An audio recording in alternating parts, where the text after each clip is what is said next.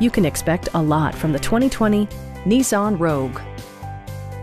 It features a continuously variable transmission, front-wheel drive, and a 2.5-liter four-cylinder engine.